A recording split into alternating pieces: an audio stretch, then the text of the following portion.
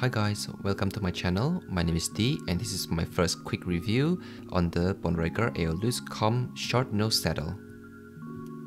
This saddle retails for about 120 Australian dollars in Melbourne and it is my second short nose saddle. My first short nose saddle was the popular Specialized Power saddle but I sold it together with my old bike. And I just want to try something new and I believe this saddle is the direct competitor to the power saddle, so I'm thinking just give it a go. For sizing wise, they come in two sizes, in length 250mm and in width 145mm or if you prefer a wider one 155mm.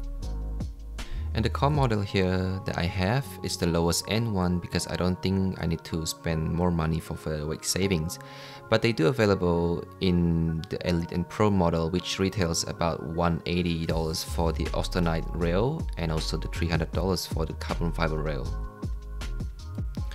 As you can see here, the cutout here is quite generous to relieve the perineal pressure for guys and again, the saddle model is not always the main issue if you do have the pressure underneath there, but also it depends a lot as well with your bike setup.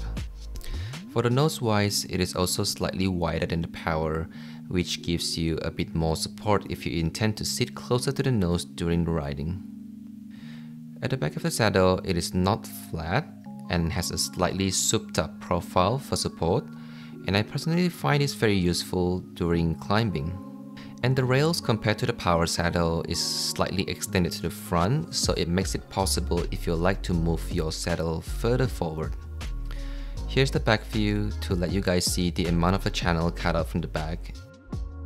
As for padding, the Aeolus Comp saddle has a good amount of padding and even at the nose position, so you will still feel plush while sitting closer to the saddle.